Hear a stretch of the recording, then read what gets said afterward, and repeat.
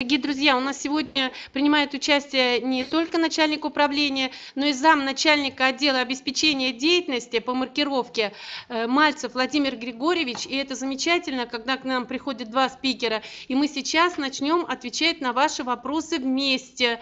Поэтому, пожалуйста, внимательно слушайте, не стесняйтесь и задавайте ваши вопросы э, как можно смелее и как можно больше. Итак, отвечают Ольга Николаевна и Владимир Григорьевич. Напомню, что потом публикация сегодняшнего мероприятия будет еще на страницах журнала «Налоговая политика и практика» в девятом и в десятом номерах.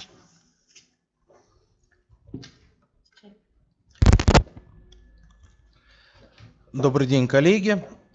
Э, значит, я с вашего позволения начну отвечать на те вопросы, которые я видел задавали в чате. Э, и первый вопрос, чем считываются марки?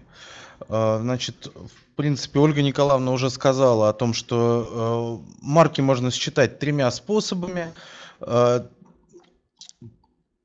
Метку RFID, на которой записан ну, уникальный номер кристаллика и уникальный номер товара SGTIN можно считать при помощи RFID оборудования.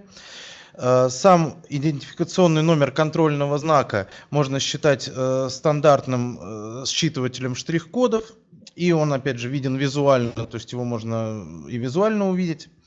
И также есть в марке QR-код, который можно считать как стандартным QR-считывателем, так и, оборуд... так и программами, которые разработаны специально для маркировки, для мобильных приложений Android и iOS. А, следующий вопрос. Э, описание товара. Что, э, что все-таки нужно в описании товара? Декларация или сертификат соответствия? Значит, ответ однозначный. Нужна декларация соответствия. Сертификат не нужен. Да, на сайте уже э, на сайте это уже поправлено. Действительно, у нас на сайте была ошибка. У нас был указан номер декларации соответствия, при этом была дата сертификата. Осталась из э, там, старого варианта. Сейчас это поправлено, и сейчас однозначно декларация соответствия. А, следующий вопрос. Э, будут ли физические лица проверять подлинность приобретаемых товаров, которые подлежат маркировке? Ну, мы очень надеемся на то, что, конечно, они это делать будут. И мы для этого проводим информационную кампанию. Э, мы для этого разработали мобильные приложения. Ну и, в общем, делаем все, все, что в наших силах для того, чтобы потребителя как-то заинтересовать и рассказать ему, а то он может действительно проверить и действительно узнать, подлинный ли товар он покупает. Сделать он это может максимально просто с помощью мобильного телефона.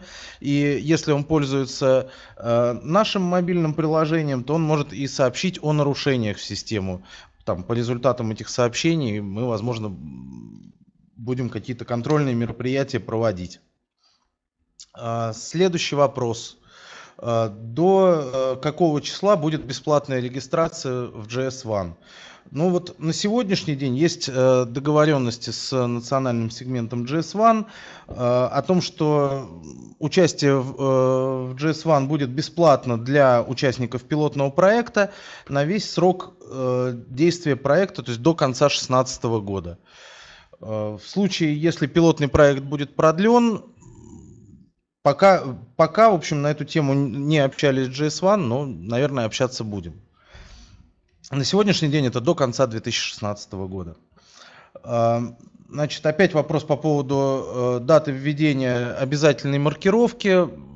В общем, уже Николай сказала два раза о том, что как только Киргизия э, ратифицируется, и э, передаст по дипломатическим каналам э, информацию об этом. После, через 10 дней после этого соглашение вступит в силу и маркировка станет обязательной. А, так, следующий вопрос. А, о том, что в GS1 э, при опис... невозможно описать товар, э, работает режим только чтения товара. Здесь, опять же, важно понимать, что после того, как э, описание опубликовано, никаких изменений в описании товара вносить нельзя. Иначе, в общем, все это потеряет смысл. То есть все изменения в описании товара можно вносить только до даты публикации. Если вы посмотрите в вашей вот excel табличке, которую вы отправляете при описании товара, там есть такая графа «Дата публикации описания». И вот э, пока эта дата не наступила, вы можете вносить изменения, там, находить какие-то ошибки и что-то менять. Вот после того, как вы опубликовали, Дальше никаких изменений вноситься не может. Если вы обнаружили какую-то ошибку после публикации, значит вам придется заново описывать свой товар и получать новый э, номер уникальной серии товара GTIN. Значит, по поводу того, что э, если у вас не виден какой-то GTIN, в нашей системе. То есть вы заполнили, и при этом э, вы не видите, он у вас не появляется в системе, вы не можете промаркировать товар, привязать номер контрольного знака к э, этому джетину. Причина в 100% случаев одна. У вас некорректно заполнено, либо не заполнено какое-то из обязательных полей нужно обратить внимание в этой excel табличке, которую вы отправляете в JS1, э, в каждом поле указано, обязательно это поле или нет. И при этом в описании к заполнению этого поля обязательно говорится, что именно в этом поле должно быть.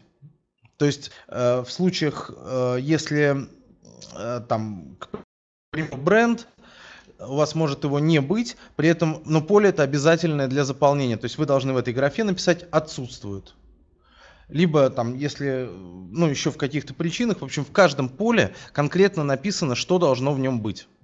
Это важно. Иначе, если у вас будет что-то или не будет этой информации, вы этот GTIN не увидите. На 100% проблема в этом, если вы не видите свой GTIN в нашей системе. Так, э, еще один вопрос. Э, так, ну по поводу срока проверки заявки э, на получение КИЗов тоже уже Ольга Николаевна на этот вопрос ответила. Так, еще вопросы. А, так, вот это важно. А, если маркировка станет обязательной, сколько дней будет выделено на маркировку остатков? Сейчас подготовлен и внесен в правительство проект постановления о порядке маркир... регламентирующий порядок маркировки товаров в Российской Федерации. И э, в этом проекте постановления предусмотрено 30 рабочих дней с даты вступления в силу соглашения. То есть после вступления в силу соглашения оборот немаркированного товара будет запрещен, но при этом на маркировку остатков, то есть все новые товары уже нужно будет маркировать сразу, но на маркировку остатков будет дано 30 рабочих дней. Так, эм, По поводу импорта. Сейчас. А, вот по поводу э, вопрос. Если у человека есть сертификат, то теперь ему нужно срочно делать декларацию, вопросительный знак. Значит, э, мы не просим информацию о сертификате. Нам, э, в общем, по, э, по результатам обсуждения с Роспотребнадзором сертификат не интересен. Интересна именно декларация о соответствии. Если у вас по какой-то причине декларации о соответствии нет, то вы указываете опять же, по данным Роспотребнадзора, причины могут быть только, может быть, две. Это либо э, получен товар от физического лица, то есть это комиссионный магазин, э, либо э, до введения обязательного декларирования товар был получен. В этих случаях вы как раз пишете отсутствует, получено там до обязательного декларирования, либо отсутствует, получено от физического лица. Все эти фразы, которые нужно писать в случае отсутствия, они есть вот в этой excel таблице. Там все это есть, там есть порядок заполнения. Можно посмотреть там, и все станет понятно. А, дальше вопрос. Так, более, э, более подробная информация по порядку импорта товаров. А, значит, порядок импорта товаров, он действительно отличается от производства, отличается э, он тем, что маркировка производится как бы в два этапа. Э, сделано это как раз исходя из пожеланий представителей бизнеса, поскольку, в общем, как мы поняли, это упрощает немножко жизнь для бизнеса. Значит, э, вкратце порядок маркировки. Во-первых, эм, до прохождения таможенных процедур э, импортер обязан нанести марку на товар и сообщить об этом информационную систему. При этом описание товара в GS1 э, участник к этому времени не делает. И запись SGT в марку при помощи RFID оборудования участник тоже не делает. Может, может, да, то есть, в общем, может сделать, но есть возможность этого не делать. При, при этом марка обязательно должна быть нанесена на товар, и эм, э, в систему сообщения об этом тоже должно быть, при этом должны быть сообщены э, минимальный набор характеристик, там, необходимый для прохождения таможенной процедуры, в том числе там, вид меха. Вот. После того, как пройдены таможенные процедуры, товар ввезен в Российскую Федерацию, но предложение этого товара в продажу – импортер обязан описать товар в GS1 и э, вписать SGT, э, внести в метку. Вот. Так, следующий вопрос.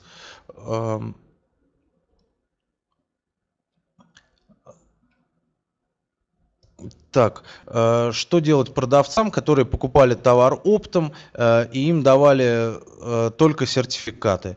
Ну, в общем, э, что делать, наверное, это скорее вопрос лежит в компетенции Роспотребнадзора, но... Мы уточним тогда. Да, мы этот вопрос уточним, но... А, я смотрю в чате, что пишут, что обращались в Роспотребнадзор, Роспотребнадзор послал к нам. А, давайте сделаем так. Мы там буквально 5-7 э, дней берем на проработку вопроса, и у нас обязательно там в общих а, ответах и вопросах на портале выложим, потому что ну, ситуация интересная, потому что у нас совсем другая информация от официальных представителей Роспотребнадзора.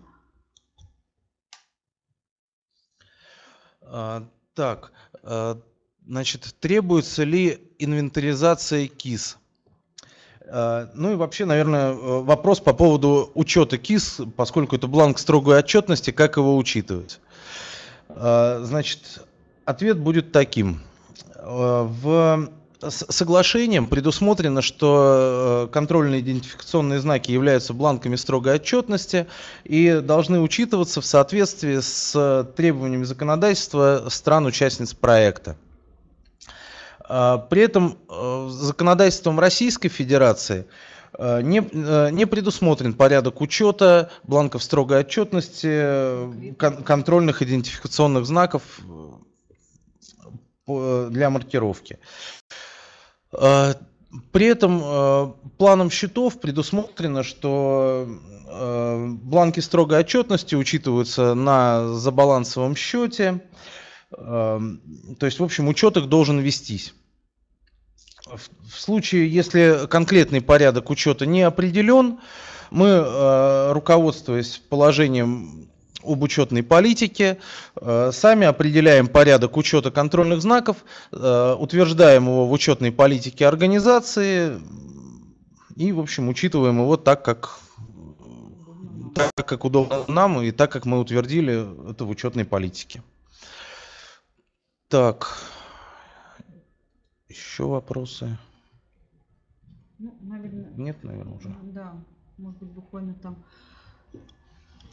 Я тогда, наверное, а, еще отвечу, ну, отвечу и а, расскажу о дальнейших перспективах. На самом деле, самый первый вопрос, который мы увидели в чате, это вопрос, когда будет э, введена маркировка лекарственных препаратов.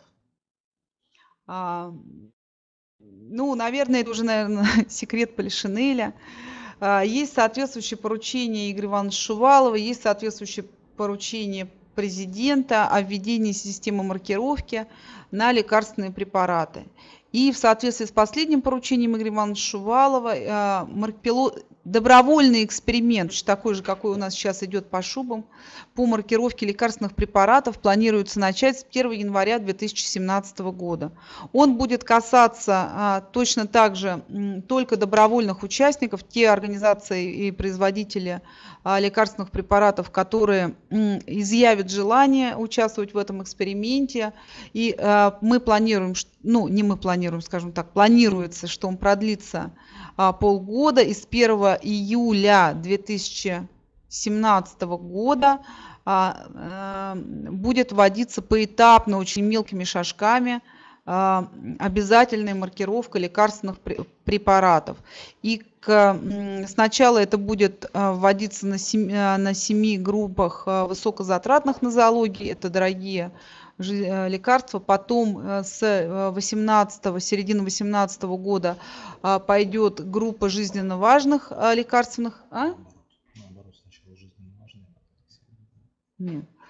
А, вот. И, собственно говоря, к 2019 году а, будет определен а, а, конечный итоговый перечень а, лекарственных препаратов, которые будут подлежать маркировке. Вот такие планы, конечно, жизнь все корректирует.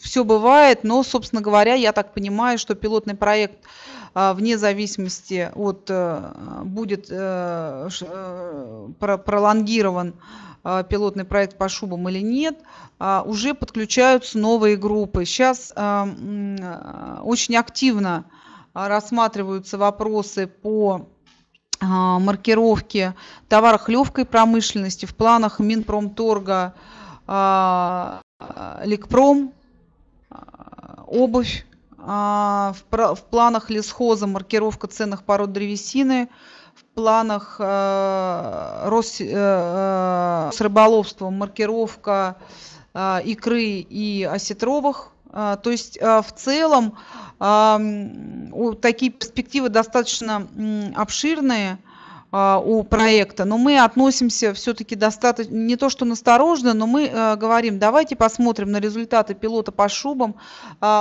еще а, по результатам пилота, что называется, докрутим систему, да, сделаем ее более юзабилити, сделаем и нормативку более, а, а, более доделаем нормативно-правовую базу, и после этого, собственно говоря, пойдем расширяться. Вот такие у нас перспективы. На самом деле, первым всегда сложно, первые получают все время всегда больше тумаков, да, всегда больше эмоций, когда там какая-то э, испытывают первые, поэтому я благодарна а, всем участникам пилотного проекта и, тех, и тем, кто нас ругает, и тем, а, кто нас поддерживает, это все равно э, нас стимулирует, и мы там вместе идем э, вперед. Наверное, сейчас мне уже надо закругляться, я смотрю так на часы и на наших коллег. А, а, У нас э, Наталья говорила о том, что есть добрая традиция выбирать победителя. А, Мы а, посма- посмотри, а фамилию надо или Кто вопрос? задал вопрос и фамилию озвучить, чтобы человечек прислал свои Кто данные? задал вопрос? Ну, здесь на самом деле а, а, было, я сейчас посмотрю, от одного ли они, ха-ха-ха, от одного ли они человека.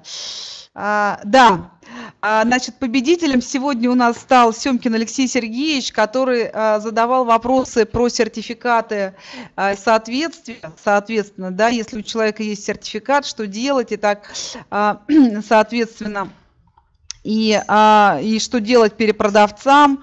А, потому, ну, мы выбрали этот вопрос, потому что действительно вопрос, а, судя по всему, проблемный, на него а, ответа нет. А поскольку он нас поставил в тупик, тогда приз тому, кто задал. Дорогие друзья, огромное спасибо и Ольге Николаевну, а, Николаевне и Владимиру Григорьевичу. Я думаю, наш первый вебинар по системе маркировки товаров Российской Федерации получился на пятерку. Всех благодарю за участие, приглашаю в студию наших замечательных спикеров. Еще и в дальнейшем, как будет развиваться проект, будем держать руку на пульсе.